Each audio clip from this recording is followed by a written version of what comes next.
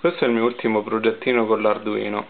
Eh, qui abbiamo l'Arduino collegato a una breadboard con un display che ci serve per eh, eh, capire cosa sta succedendo, ehm, collegato a un ponte ad H eh, che a sua volta alimenta per mezzo di un pacco batterie ausiliario eh, questo ehm, motore passo passo ehm, che è in grado di spostare sull'asse ehm, lungo l'asse questo carrellino sopra cui è montato un servomotore connesso questa volta direttamente all'Arduino con i due pin d'alimentazione e quello di controllo.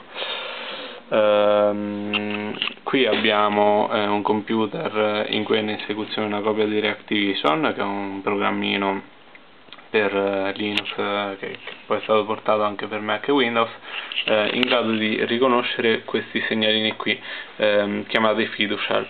Ehm, li riconosce e ehm, li, li, scrive su un, ehm, su un socket UDP eh, alla porta 3333 come vedete lì ehm, e questi attraverso un programmino che ho scritto io in Java che è qui sopra eh, vengono ehm, scritti sulla porta seriale e quindi mandati all'Arduino.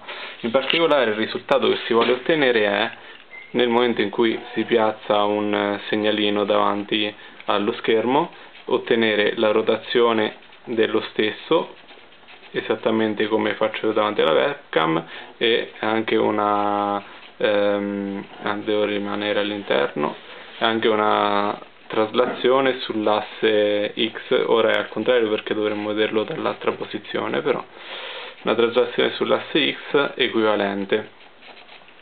Quindi qui vediamo se riesco a inquadrarlo. Il carrellino che si sposta e il, um, il segnalino che ruota. Nel frattempo tutti i dati vengono mandati attraverso la seriale. Infatti ecco qui che vengono scritti, sì non si legge niente ma ok. Eh, questo è quanto. Ciao ciao